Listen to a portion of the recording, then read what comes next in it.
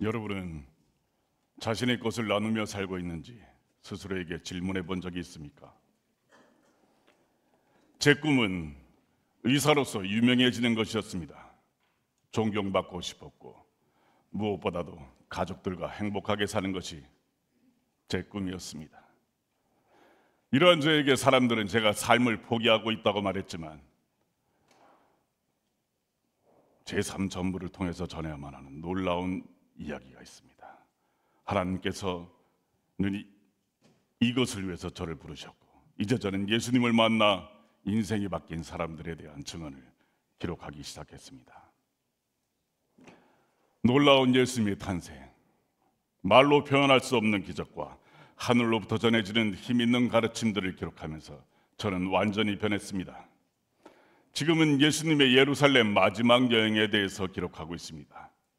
솔직히 두렵습니다. 지금부터 전하려고 하는 이 이야기는 매우 힘있고 중요하기 때문입니다. 그러나 사람들이 어느 곳에서나 그 무한한 사랑의 이야기를 들을 수만 있다면 그렇게 하나님께서 저를 사용하시길 기도합니다. 이 이야기는 시작됩니다. 예수 이야기.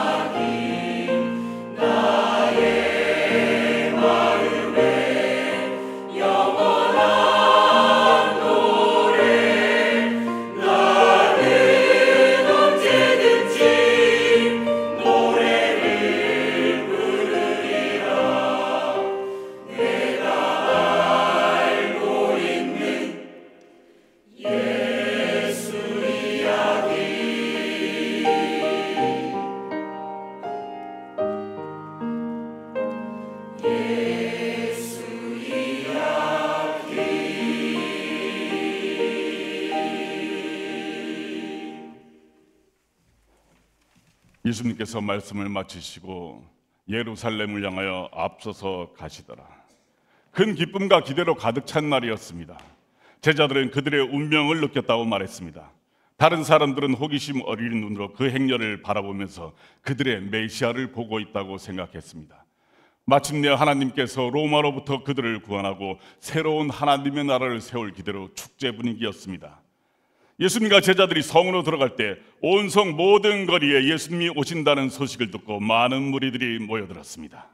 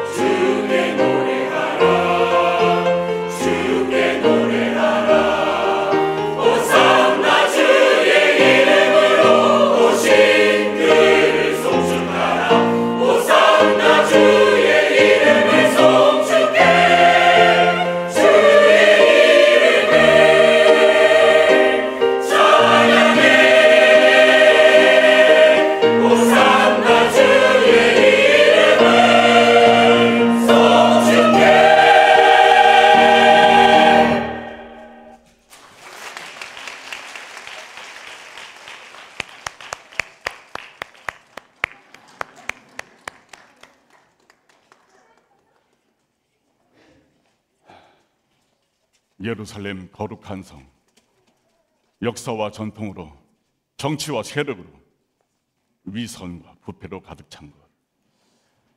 예루살렘은 선지자들에게 위험한 곳이었고 예수님께서는 누구보다도 그 사실을 잘 알고 계셨습니다. 그러나 예수님께서는 담대히 진리를 선포하셨습니다.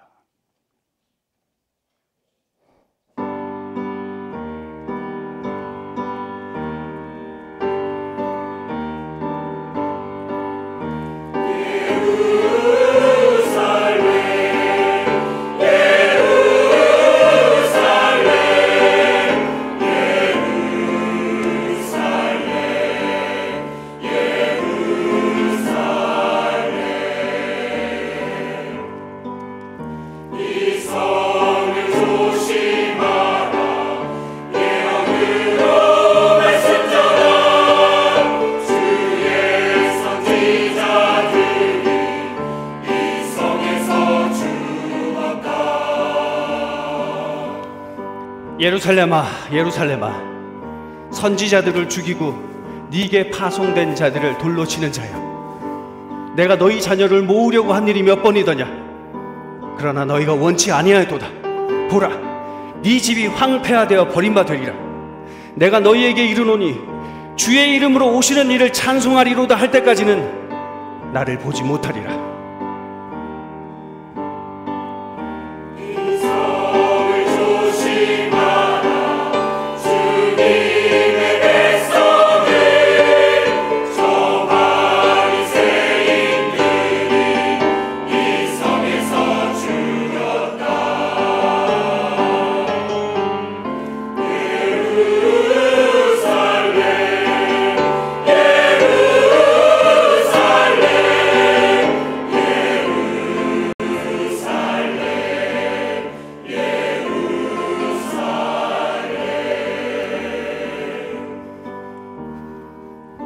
내 집은 기도하는 집이라 하였거늘 너희는 강도의 구별로 만드는도다.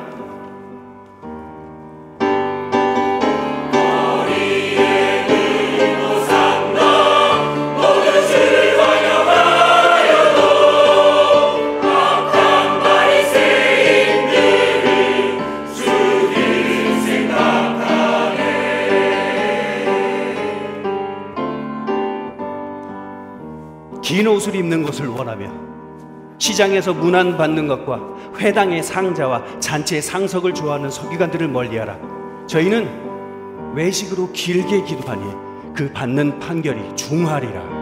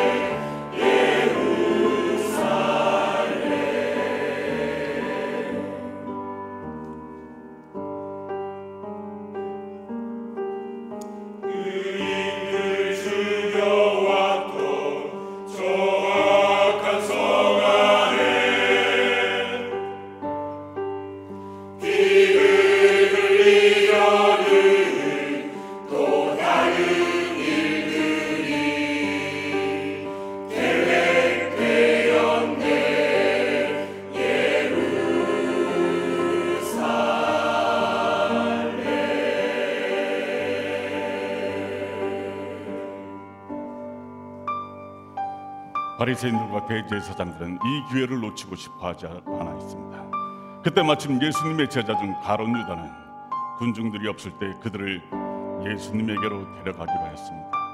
이것은 그들에게 믿을 수 없는 소식이었으며 빨리 그 기회를 잡고자 했습니다. 예루살렘은 이 선지자 죽이는 것을 더 이상 지체할 수 없었습니다.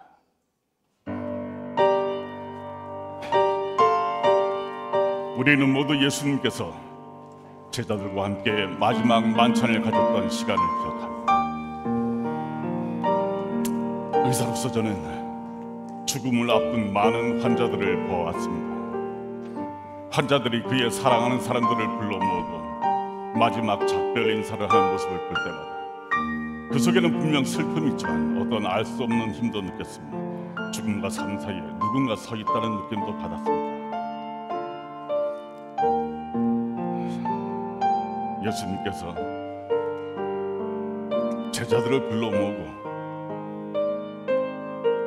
유월절 마지막 식사를 하실 때도 그러한 느낌을 받았습니다. 예수님 말씀은 제자들을 혼란스럽게 하였지만 이제는 그 말씀이 작별 인사했다는 것을 알고 있습니다. 그 속에는 분명 부드러움과 슬픔 속에 빵을 나누고 잔을 들었을 것입니다. 또한 예수님께서 제자들에게 하신 말씀은 영원히 그들의 마음 속에 살아 있을 것입니다.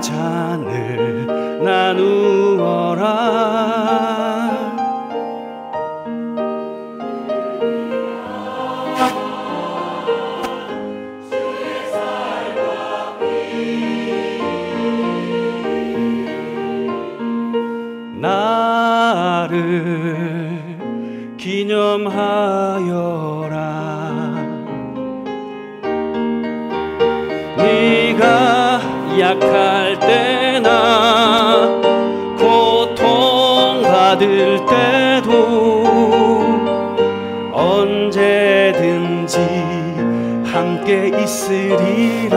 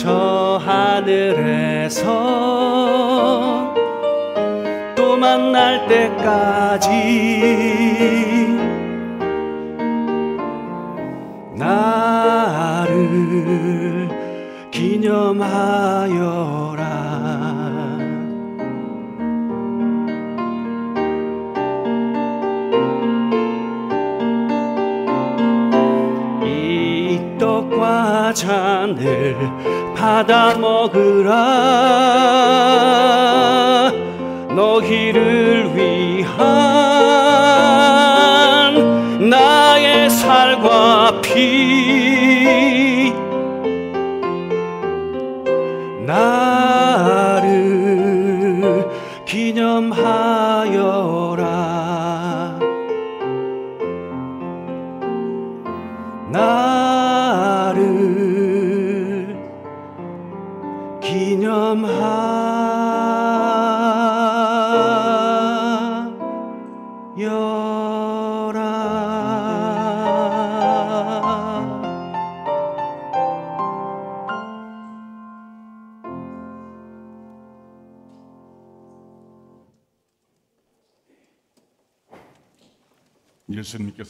나가사 습관을 쫓아 감남산으로 가시니 제자들도 쫓았더니 겟세마네 동산에서 감남산에 이르러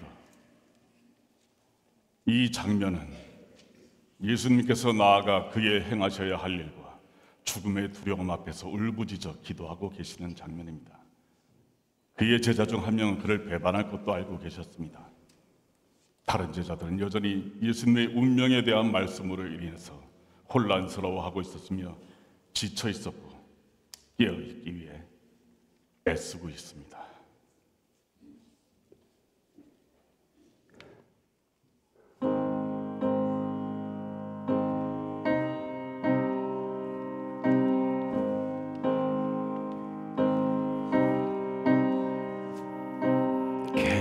겟세마네로 오라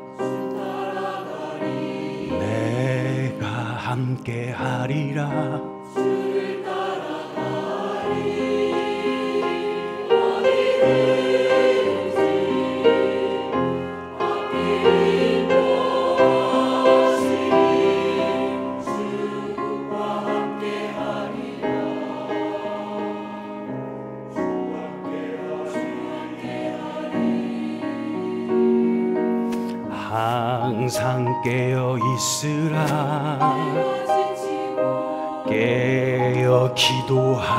기도하면서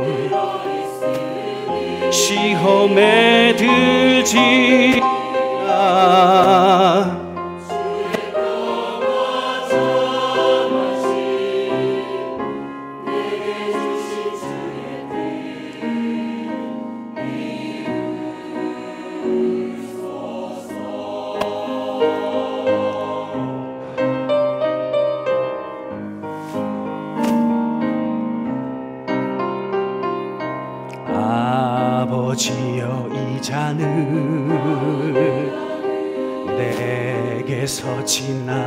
지나가게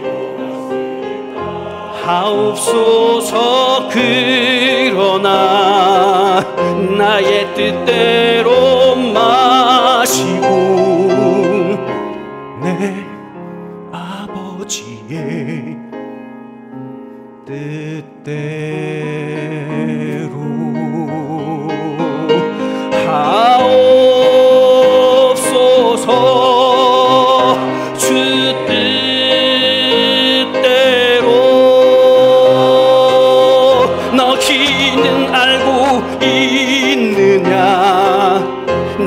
날배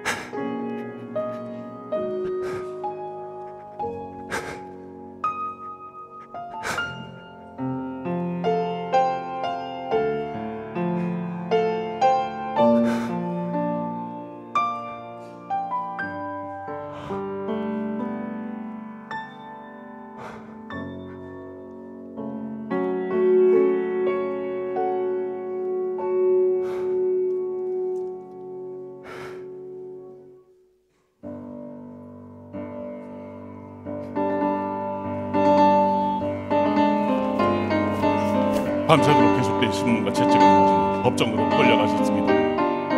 저는 알겠지 아직까지 이 장면을 이해할 수가 없었습니다.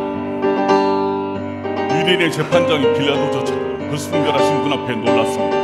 그는 분명 예수님을 풀어줄 준비가 되어 있었지만 군중들은 가차없이 예수님의 죽음을 부르짖고 있어 계속해서 못 박아 못 박아 외치는 소리가 들립니다. 무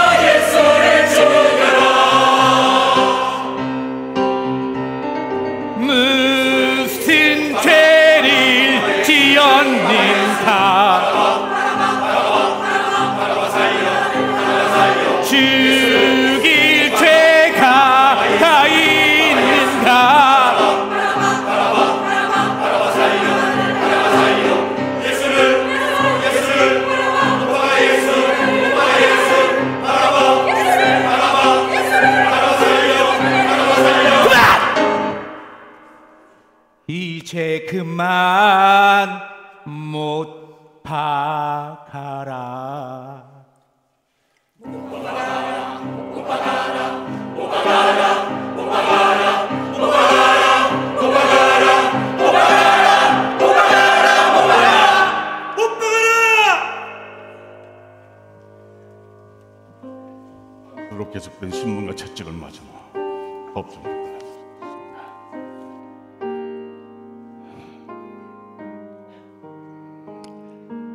저는 의사로서 사람의 몸에 무엇을 박는다는 것에 대해서 생각해 보았습니다. 같은 사람으로 그러한 형벌을 만들어냈다는 것이 부끄럽습니다. 살을 씻고 햇빛 아래 매달아 둠으로써 탈수증을 일으키게 하며 폐에 질식할 만한 압력을 가하는 십자가의 잔혹함은 믿을 수조차 없습니다. 어떻게 그들은 이 세상에 그토록 놀라운 사랑을 보여주신 예수님께 이러한 고통을 가할 수 있었을까요? 그리고 예수님께서는 왜 그들에게 맞서 싸우지 않으셨을까요? 분명한 것은 예수님께서는 그들과 맞서 싸워 이길 수 있으셨다는 것입니다. 그러나 그렇게 하지 않으셨습니다. 대신 예수님께서는 그들을 위해서 기도하셨습니다. 십자가에 못 박고 자신을 죽음으로 몰아넣고 있는 그들을 위해서 기도하셨습니다. 십자가 밑에는 몇몇의 사람들이 있었습니다.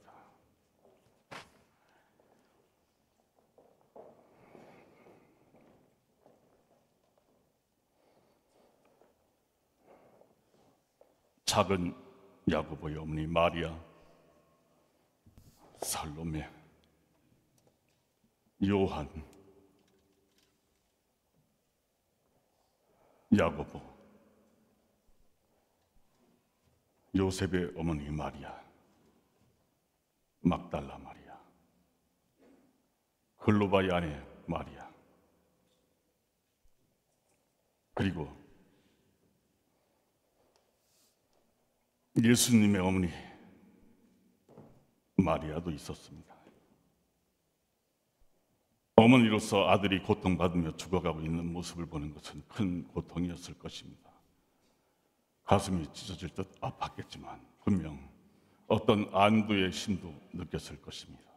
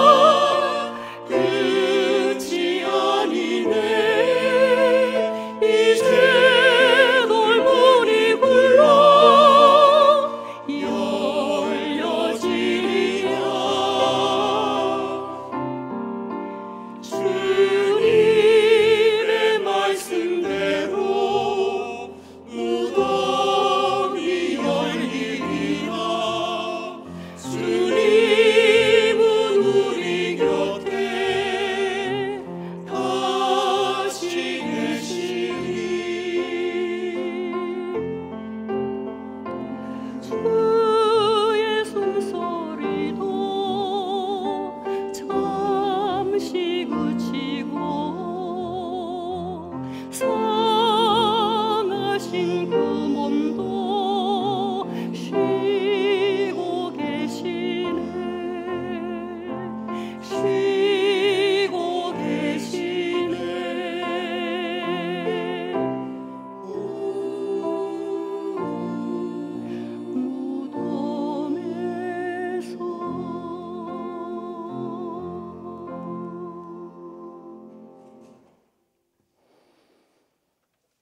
갈릴리에서부터 예수와 함께 온 여자들이 뒤를 쫓아 그 무덤과 그 시체를 어떻게 둔 것을 보고 돌아가 향품과 향유를 예비하더라.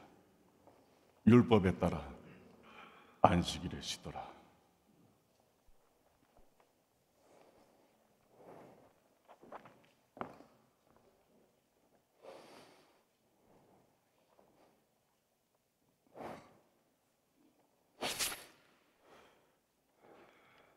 주의 죽으심으로 우리에게 생명을 주셨으며 주의 자비하심으로 우리의 모든 것을 만드셨으며 주의 능력으로 주의 깊고 거룩하신 사랑을 전하는 것을 그만두지 않을 것입니다.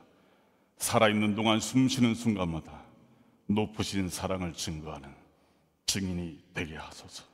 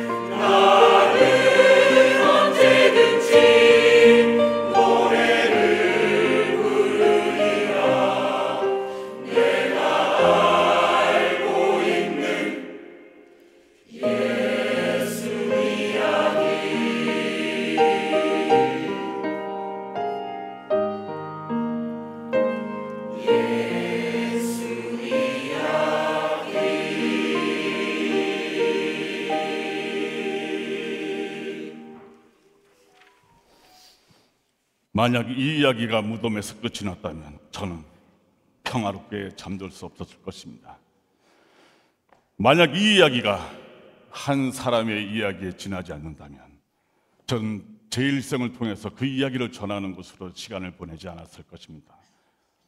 오늘과 내일이 주님께 속하였다는 확신 속에 저는 오늘도 살아가고 있습니다. 제가 아직 전하지 않은 이야기가 있습니다. 그것은 바로 비어 있는 무덤에 관한 것입니다. 예수님께서는 그 무덤에서 부활하셨으며 그러한 자신의 모습을 세상 사람들에게 보여주셨습니다. 그리고는 마침내 많은 사람들이 보는 가운데 하늘 위로 오르셨습니다. 예수 이야기는 이렇게 끝이 납니다. 이 이야기를 통해서 그리스도가 여러분의 삶 가운데 있으며 또한 여러분을 통해서 역사하시길 기도하겠습니다. 그리스도가 행하신 모든 일에 할렐루야 하며 사는 삶이 되시길 바랍니다.